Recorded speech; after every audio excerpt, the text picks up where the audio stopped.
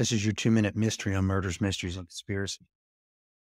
November 22nd, 1963, the Kennedy assassination. The Warren Commission determined after 10 months that Lee Harvey Oswald was the lone shooter in that assassination. The House Select Committee on Assassinations met between 1976 and 79 and determined through acoustical evidence that actually four shots were fired in Dealey Plaza that day constituting a conspiracy, more than one shooter. Author Steve Rivele interviewed a man named Christian David.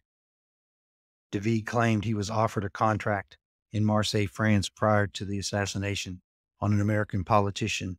When he found out the assassination was to be on American soil, he turned it down.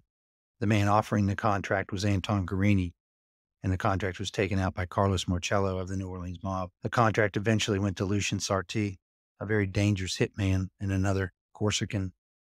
He took the contract with two other men. They flew to Mexico City, crossed the border in Brownsville, Texas, under Italian passports, and stayed at a safe house for 10 days.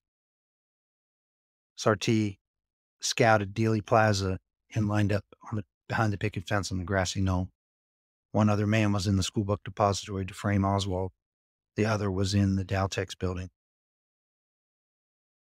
They took their shots they escaped back to the safe house, where they stayed for an additional 10 days, then flew out to Montreal and on to Marseille, France. They were paid in heroin, which they later turned into cash. That's your two minute mystery.